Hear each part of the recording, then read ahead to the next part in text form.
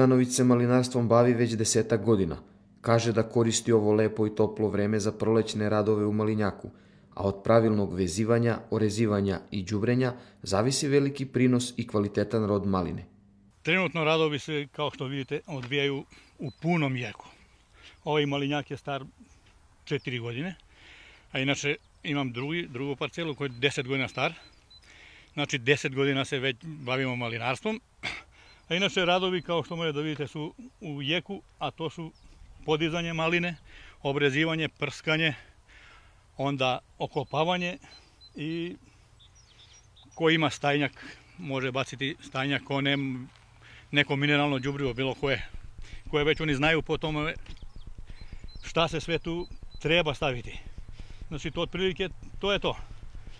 Par dana ćemo imati posla dok ovo podignemo i završavamo.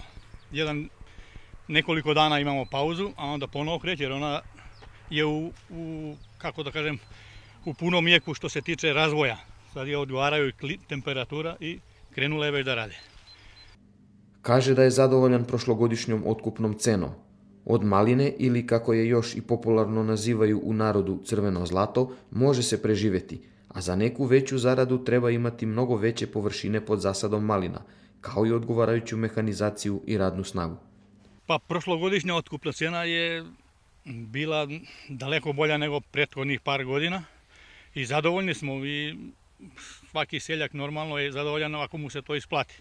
I mi se nadamo da ako bude cena barem koliko prošlogodišnja ili malo bolja, da će biti za nas svakako bolje, pa da se nadamo nekoj zaradi, inače onih prethodnih godina veoma loše iskustvo. Pa za jednu porodicu, četiri člana i više, mi, 10 ari je malo.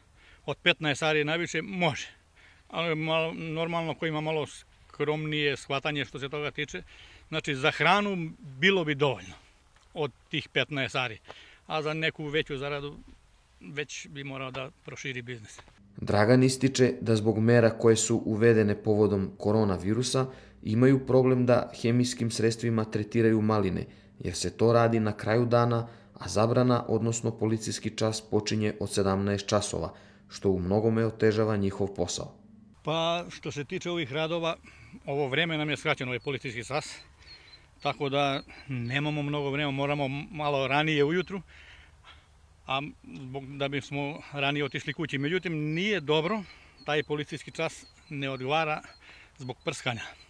Jer sad kada one počnu da listaju, morat će da se tretiraju, ali moramo kasno zbog pčela. I to će biti problem da se one prskaju u večernjim satima, a tad je policijski čas i ne znam kako će to da se reši. Ali bilo bi dobro za nas, poljoprivrednike, malinare, da imamo neku dozvolu, recimo pred sam mrak, da imamo neku slobodu da dođemo i da, da isprskamo maline, da bismo zaštitili pčele.